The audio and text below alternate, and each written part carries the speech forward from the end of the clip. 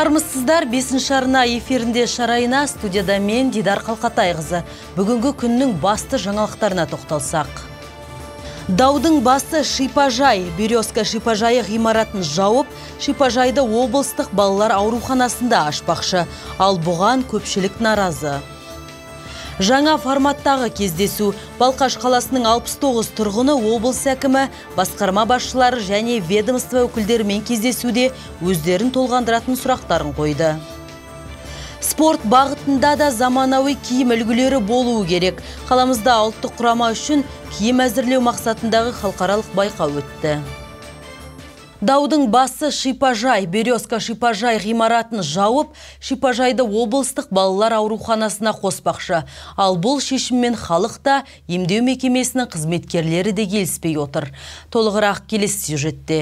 Березка шипажайының қызметкерлері шипажай ғимаратын жауып, облыстық балалар ауруханасына қосу шешімі 13 сәуірде нақтыланады дейді. Бірақ жұмыскерлерді бұл турасында 23 маусымда ғана хабардар еткен. Бұның барлығы да біз шу шығармасын деп әдейі істеліп отыр. Барлығын артына қалдырып отыр. Приказ был 14 апреля. Міне біздің қолымызда дәлел құжатта бар. Бізді алдап соқты. Көктемде шыққан үкімді біз жазда бірақ біліп отырмыз. Арада үш ай өтті. Ертерек айтпай ма бізге?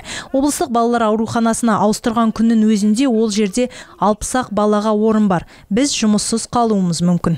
Ал Қарағанды облыстық денсаулық сақтау басқармасының басшысы Бибігүл Төлегенованың айтуынша, тамыз айының соңына дейін қамқорлық қоры 200 балаға орын даярлайтын көрінеді. У нас в областной детской Ол жерде өкпе аурулар невроз ауруын емдеуге болады. Себебі балалар ауруханасында ашылар шипажайда арнайы оңалту орталығы бар. Бізде балалардың толық ем алу үшін барлық жағдай жасалған. Тағы да бір келеңсіздік облыстық балалар ауруханасы Березкадағы ұстаздарды ашылғалы отырған шипажайға жұмысқа орналастыра алмаймыз деп отыр. Яки мұғалімдер де жұмысымыздан айырылып қаламыз деп дабыл қағуда. Қысқасы шипажай төңірегінде келеңсіздігі көп мәселе болып отыр. Мы просим, пожалуйста, Өзі облыста бір ғана балаларға арналған шипажай қалып еді. Оған да маза бермей отыр. Менің айтарым ең құрғанда осыған тиіспендерші. Шипажай қызметкерлерінің наразылығын туғызатын түйінді істер аз емес сыңайлы. Халықтың алаңдауының тағы бір басты себебі шипажай ғимараты да жер аумағы да ретін тауып, бай бағландардың жеке меншігіне өтіп кетеме деген уайым бар. Дидар Қалқатайқызы Ирина Нинашева, Данил Заславский, бесінші арна.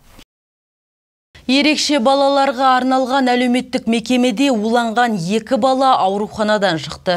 Естеріңізге сала кетейік, бірінші тамыз күні Қарағандыдағы психикалық ауруы бар балаларға арналған интернатта жеткіншектердің уланып шұғыл түрде ауруханаға жеткізілді.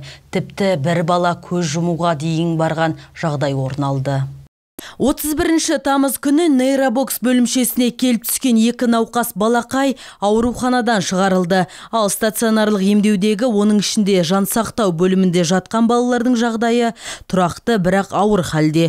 Талдау тексеру нәтижелері бойынша барлық ауруханаға түскен пациенттердің тамақтан улану жағдайы расталмағандығын айта кеткен жөн. Бала өліміне жеткізген қайғылы жайттың себебін анықтау үшін әлі де талдау жұмыстары жүргізіліп жатыр.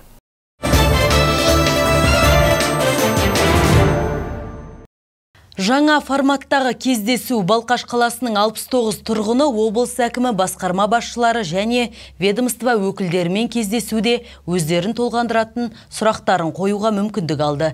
Іс шарада тұрғындар бір қатар маңызды мәселелерді көтерді. Толығырақ келесі бейнесюжетте. Металлургтер мәдениет сарайының залында Ермағанбет Бөлекбаев әріптестерімен бірге қала тұрғындарының сұрақтарына жауап берді. оборотный водоснабжение пайдаланыңдар терезе бар қойыңдар. Үш кубтық па бес кубтық па? Балқаштықтарды ерекше толғандыратын және бірінші кезекте тұрған мәселе сумен жабдықтау. Ермағанбет Бөлекбаев қабылдауына бірінші нөмірлі талонды Тайтөлеу Жұманов бастаған ардагерлер кеңесінің тобы алды. Белсенділер су тапшылығы мәселесін шешу бойынша өз ұсыныстарын айтты. Ал Балқаш көлінің экологиясын жақсарту үшін қамыс тоғайларынан құтылу мақсатында шығанақтағы бөгеттер жүйесін өзгерту қажет деп санайды. Расходуется круглосуточно. Біз таза ауыз суды шамадан тыс көп жұмсаймыз. Біз онымен бақшаларымызды суарамыз. Комбинат та оны санитарлық тұрмыстық қажеттіліктеріне пайдаланады. Сонымен қатар бұл суды автокөлік жуу орындары да тұтынады. Мұны реттеу қажет. Айналымдағы су пайдаланылуы тиіс. Кездесуге алматыдан келген қоғам қайраткері әйгерім тілеубай экологиялық қауіпсіздік жобалары туралы айтып берді. Ол ынталы топпен бірге балқаш көліне қамқорлық жасауға бағытталған мектеп ұйымдастырған. Мы пришли презентовать. біз мұнда өз мектебімізді таныстыруға қатысушыларымыз жайлы әңгімелеуге келдік. Әкімдік әрқашанда жаңа жобаларға қызығушылық танытады деп ойлаймын. Мұның бәрін талқылағымыз келеді. Балқаш қаласының белсендісі анар адамбекованың пікірінше кездесулердің жаңа форматы қызықты. Халықтың қажетті жауаптарды алуы өте маңызды дейді ол. Если он будет эффективным, мұндай кездесулердің тиімді болуы маңызды. Мұнда барлық бөлімшелердің басшылары орналасқан. Егер адам жауапқа қанағаттанбаса олар аймақ басшысына тікелей жүгіне алады. Бұл дұрыс деп санаймын. Әр мәселе өз деңгейінде шешілуі тиіс. Кездесу екі жарым сағатқа созылды. Осы уақыт ішінде әкім басқарма басшыларының қабылдауына 69 адам жүгінді. Әрбір екінші тұрғын облыс әкіміне сұрақ қойды. Балалармен бірге келгендер үшін ойын алаңы ұйымдастырылды. Балқаштықтар облыс әкімімен басқарма полиция және экология департаментінің басшыларымен электронды кезек арқылы залда микрофондар мен аудиториясыз өткен кездесудің жаңа форматын бағалай алды. Арман қазбекұлы наталья заяц бесінші арна. Сапа қауіпсіздік жұмыстарды уақытылы аяқтау. Қалалық мәслихат депутаттары жазғы кезеңде жөнделетін мектептер мен мектепке дейінгі білім беру мекемелеріне мониторинг жүргізуді бастады. Биылғы жылы жөндеу жұмыстары жан басына шаққандағы қаржыландыруға бөлінген қаражат есебінен жүргізілуде. Толығырақ алдағы бейнематериалда. Мы с педагогическим коллективом обсудили и решили, что лучше положить вот такой вот антивандальный линолеум, он высокого качества. С основанием полы подрядчик у нас плитку снял, выровнял, залил. Алдымен қалалық мәслихат депутаттары академик Евне Арыстанұлы Бүкетов атындағы 52-ші жалпы білім беретін мектепке барды. Оқу ордасы басшысының айтуынша жұмыс қызу қарқында жүріп жатыр. Ағымдағы жөндеу жұмыстарының бүгінде 70% аяқталған. Мектепке кіру бөлігі кеңейтіліп, соның ішінде мүмкіндігі шектеулі адамдарға арнайы қолайлы жағдайлар жасалған. Киім ілгішті қайта жабдықтап, жаңартылған жуынатын бөлмені мүмкіндігі шектеулі адамдардың қажеттіліктеріне бейімдеп қойыпты. Сонымен қатар бірінші қабаттағы қауіпті тақтайлы еденге линолеум төсеген. Алдағы уақытта брайль шрифтімен жазылған тактильді белгілерді орнату қарастырылған. Депутаттарды бірқатар аспектілер соның ішінде жұмыс сапасы пайдалану кезіндегі қауіпсіздік пен аяқталу мерзімі қызықтырды. Жөндеу жұмыстарын 15 тамызға дейін аяқтау жоспарланып отыр. Ағымдық э, жөндеу жұмыстары жүргізілуде. 15 маусымнан бастап 15 тамызға дейін подрядчик Орман Евро құрылыс, Орман Асхат Мақұлбекұлы жұмыстарды атқарады. қанша қаржы бөлінді бұл 19 миллион 880 мың теңге. Мердігер ағымдағы жөндеуді мерзімінде тапсыруға міндеттеледі. Одан кейін жұмыс кепілдікте болады. Қалалық мәслихат депутаттары тексеріс барысында нұркен әбдіров атындағы 58-ші жалпы білім беретін мектепке ат басын тіреді. Мұнда кітапхана ағымдағы жөндеу жұмыстарымен қамтылды. Жеткізушімен оны жабдықтау туралы келісім жасалды. Және жабдықтары тамыз айының соңына дейін жеткізіледі. Екінші қабатта жуынатын бөлме жөнделіп оны мүмкіндігі шектеулі адамдардың қажеттіліктері үшін жабдықтады. Мұғалімдер бөлмесі мен екі кабинеттегі жөндеу жұмыстары аяқталуға жақын. Екінші қабаттағы және үшінші қабаттағы еден ә, кафель салынып және линолеум аралас частично ә, сондай линолеум сондай ремонт жүріп жатыр. Екі мердігер жұмысын өте жақсы аяқтады уақытысымен аяқтады. Ә, бір мердігер қазіргі таңда кешігіп істеп жатыр. 15 тамызға дейін ә, аяқтаймын деп уәде беруде. Жұмысты мерзімінде тапсыру мәселесі білім бөлімінің бақылауында. Жұмыстың жалпы сомасы шамамен 18 миллион теңгені құрап отыр. По 58 нұркен әбдіров атындағы 58-ші мектеп бойынша біз мерзім бойынша бұзушылықты көріп отырмыз. Бұл мәселені округ депутаты жеке бақылауға алатын болады. Содан кейін депутаттар шәкәрім құдайбердіұлы атындағы 93-ші мектеп гимназияға бет алды. Мұнда спортзалды жөндеу жұмыстары аяқталды. Яғни еденді арнайы жабынды төсеу арқылы жөндеді. Сондай ақ қабырғалар мен төбелер жөнделіп есіктер жаңасына ауыстырылды. Мы закладывали сумму Жөндеу жұмыстары 10 миллион сомаға жоспарланғанымен ағымдағы жөндеуді барлығы 6 миллион қаржыға орындай алдық. Яғни 4 миллион қаржы үнемделді. Сонымен қатар бізге қосымша екі есік орнатылды.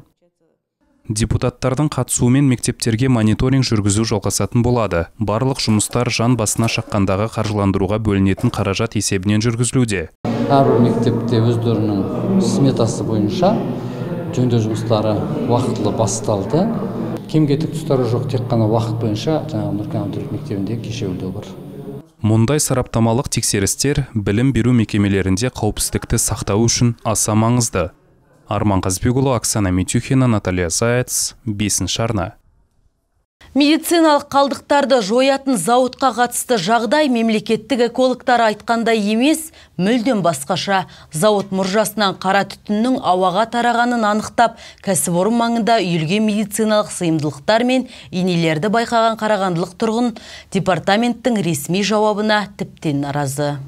Мұрат Күдеринов Олжас жауапкершілігі серіктестігінің мұржаларынан шыққан қара түтінді дәлелді дәйекпен сонау мамыр айында бейнеге түсіріп алған. Содан бері экология департаментіне кемінде төрт мәрте шағым жазған министрлікке бір өтініш жолдапты. Осыдан кейін ғана экологтар тексеруді бастапты. Кәсіпорынның аса қауіпті қалдықтарды жоюға лицензиясы да жоқ болып шықты. Это зала из этой печи, где сжигаются медицинские отходы. И тому подтверждение многочисленные бутыли, шприцы не сгоревшие. Видишь, вот бутыльки атомпициллина. Вот ампициллин, ампициллин или иные, лидокаин и так далее. Вон, вот все это стекло. Видишь, да? Это вот эта вся территория вот такая. Вся. Экология департаменті екі рет тексеруге шыққанын, алайда компания заң бұзушылықтарды жою талаптарын сонына дейін орындамағанын айтты. Сондықтан экологтар кәсіпорынның жұмысын тоқтату жайында сотқа арыз жолдаған. Айтар кәсіпорын атмосфераға шығарылатын ластаушы заттарды тазарту үшін жарамсыз құрал жабдықтарды пайдаланыпты. Осы заңсыздық үшін кәсіпорыннан 310 мың теңге айыппұл өндіру туралы экологтар сотқа шағым түсірді. Бұл өз алдына Алмұрат Күдериновтың айтуынша шприц, ине, қаны бар пробиркалар, дәке таңғыштар мен шыны бөтелкелер салынған қалдық күлді жазық далада төгіп, үстін жай ғана бульдозермен тегістеп тастаған. Это недостаточно. Где бұл салынған айыппұл аз эмиссия үшінгі төлемдер қайда? Міне мына қара түтін ауаға тарап жатыр. Ең қызықтысы департамент берген жауапты олар пешті қолданбаған тек қалдық кептірген деп жазылған. Оны қалай түсінуге болады? Егерде 245 тонна медициналы қалдықтар жағып жерген болса кептіргені несі? Ол қалдықтар пластмасса мен шыны қалдықтары. Бұл дегеніміз ондаған тіпті жүздеген камазға жүк болар қалдық. Медициналық қалдықтарды жоятын кәсіпорынның тазарту қондырғылары сайып келгенде іске жарамсыз болып шықты. Кәсіпорын салыстырмалы түрде кісі қарасы аз аймақта орналасқан. Кемшілігі бар, кәсіпорын әуелде көзден таса орында ашылды ма деген де пайым бар. Мұрат Күдериновтың айтуынша аталмыш кәсіпорын қоршаған ортаны ластаған үшін миллиондаған теңге айып төлеуі керек. Бірақ кәсіпорынды айыппұл төлетуге ешкім міндеттемеген. Белсенді қала тұрғыны осы мәселеге қатысты арыз шағымдарын жолдауды көздеп отыр. Бақыт Ирина Нинашева, Данил Заславский, бесінші арна. Бізден кейінгі іске шаруамыз жоқ дегендей кете барған. Пришахтинстің кәсіпкерлері балалар алаңын тұрғызғанда септикке кіреберісті жауып тастады деп шағымдарын жолдады. Таяуда сол аймақта кәріз суы жерге жайылу қаупі де бар дейді шағымданушы тарап. Вот идем прямо, вот здесь находится септик. Вот он, да? Вот получается здесь вот эта территория, здесь вот нам нужен прямой проезд, чтобы можно было прямо проехать. Демьян көшесіндегі аталмыш дүкен кәсіпкерлері адам сенгісіз жағдайды жариялауға мәжбүр болды. Ғимараттың артында 10 жылдан астам уақыт бойы кәріз құдығы тұрған. Өткен жылы дүкеннің артында ойын алаңы орнатыла бастап биыл ол іс аяқсыз қалған. Енді олар бұл жағдайды ретке келтіру үшін бірнеше метр төсенішпен қапталған тротуарды жол салу қажет деп шешті. Салдары сол бұл кәріз құдығына апаратын жолды жауып тастауға жеткілікті. Мы подходили к работникам, лично муж подходил. Біз сол жерде жүрген жұмысшыларға барып, кәріз құдығына жалғанатын арнайы жол салу керек екенін бірнеше рет ескерттік. Олар жасаймыз деп қойып жүре берді. Кейін тағы да бірнеше мәрте бардық. Ол да ескерусіз қалды. Енді кәрізге толы құдық қалай тазаланбақ? Олар өз жұмыстарын жасап, ақшаларын алып, ешкімге қарамай кете береді. Біз мұны қалай тазалайтынымызда шаруасы жоқ. осы аптада кәріз құдығы сорылмаса ішіндегі кәріз қалдығы дүкенге де аулаға да жайылып кетейін деп тұр Виноват кто будет в этом? Опять хозяин магазина? бір қызығы бұл ойын алаңының салынуы біраз уақыт күтілгеніне қарамастан кәсіпкерлерге бірқатар қолайсыздықтар туғызды жұмыс барысында кәріз тептегінде ақау туындап жақын жерде қарағанды су құдығының қақпасы орналастырылған бірақ бұл үшін коммуналдық қызметкерлердің ұйғарымына сәйкес әкімдік атынан мердігерлер мен тапсырыс беруші емес кәсіпкерлер жауапты болып кәріз құдығына қатысты олқылықты жөндеуге мәжбүр болған Нам снесли наш септик, сломали. Біздің септикті де су құбырының қақпағында қиратып алып тастады. Қалпына келтіру жұмыстары әкімшіліктің қаржысына жүргізіледі деп уәде берген еді. Соңында ол шығынды өз қалтамыздан көтердік.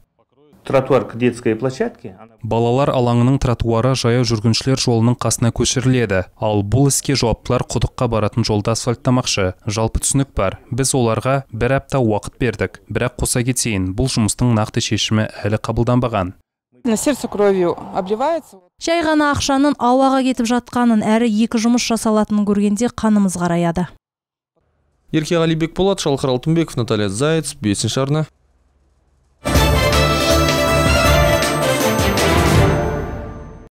90 жылдық мерейтой Евней Бөкетов атындағы Қарағанды университетінде академик Қарағанды облысының құрметті азаматы Зейнолла Молдахметұлының 90 жылдығына арналған салтанатты шара өтті. Оған еліміздің зиялы қауым өкілдері қатысып, туған күн иесіне ізгі тілектерін жолдады. Толығырақ келесі бейне сюжетте. Зейнолла Молдахметұлы 1933 жылдың 3 тамызында солтүстік Қазақстан облысы Октябрь ауылында дүниеге келген. 1965 жылдан бастап Қарағанды қаласында тұрып келеді. Ол 550-ден астам ғылыми еңбектің 14 монографияның авторы. Физикалық химия саласында маңызды зерттеулер жүргізген. Зейнолла Молдахметов 10 ғылым докторы мен 31 ғылым кандидатын дайындап, ұстаздық қызметте де озық болған. Молдахметұлы есімі еліміздің ғалым ретінде білім беру ісінің ұйымдастырушы ретінде уақыт өткен сайын асқақтай бермек әсіресе отандық ғылым мен техника саласына сіңірген өлшеміз еңбектеріңізді ерекше атап өткім келеді сонау кеңестік кезеңде ғалымдардың қатысуымен алғаш бүкіл одақтық ғылыми конференция ұйымдастыру оңай еместі. Осындай менеджерлік қабілеттің арқасында талай күрделі мәселені шешуіне ықпал еттіңіз. Ғылымның дәуірлеп тұрған шағында шәкірт тәрбиелеп ұстаз деген ұлатқа да лайық болдыңыз. Осынау ауқымды іс-шараға аймақ басшысы Ермағанбет Бөлекбаев келіп, ел президенті Қасым Жомарт Тоқаевтың алғыс хатын табыстап, ізгі лебізін жеткізді. үздіксіз ізденістеріңіз өз нәтижесін берді. Ғылыми еңбектеріңіз оқулықтары мен әдістемелік құралдарыңыз жоғары бағаланады. Қазақстанда кванттық химия мектебін қалыптастырып бірнеше буын дарынды шәкірттер тәрбиелеп шығардыңыз. Өнегелі өмір жолыңызбен кейінгі толқынға үлгі көрсетіп әрдайым ел жұрттың ортасында құрметке бөліне беруіңізге тілектестігімді білдіремін.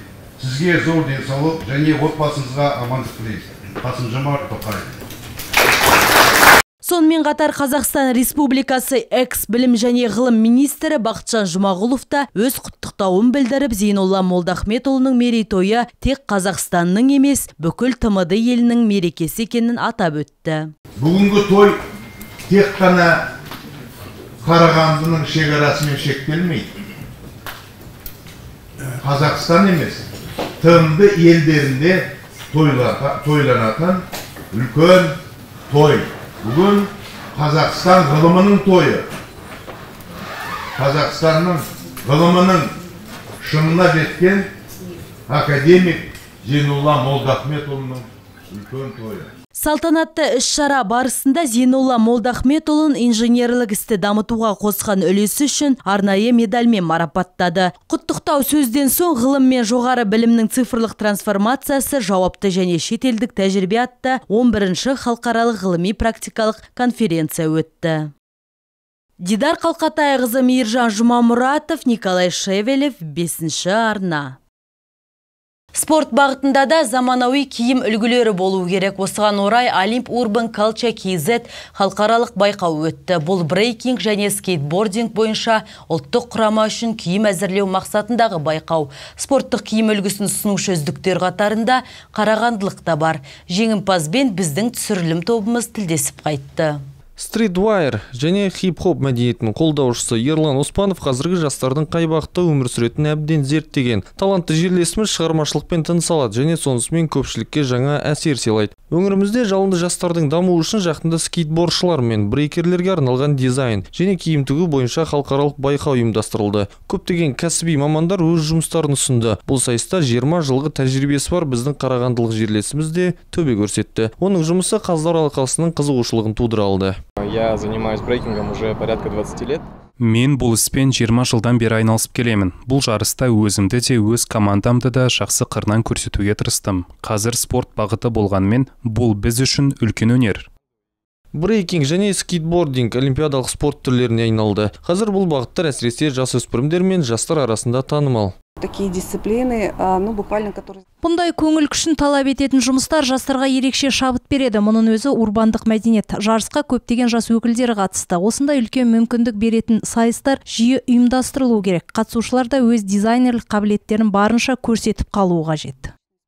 Аталмыш конкурс жеңімпаздары 2024 жылы Парижде өтетін Олимпиадаға қатысатын қазақстандық спортшылармен жұмыс жасауға мүмкіндік алады. Олардың қатарында жерлесіміз Ерлан Оспанов, Орал қаласынан Ольга Питерскова және Атбасар қаласынан Марина Стригун да бар. Оларға ұлттық құрамаға спорттық форма жасау үшін арнайы сертификаттар мен миллион теңге көлемінде сыйақы беріледі. Еркеғали Бекболат, Николай Шевлев, 5 арна. Осымен бізге келіп түскен жаңалықтар легі тәмам мен өздеріңізбен қоштаспайым келесі кездескенше аман сау болыңыздар.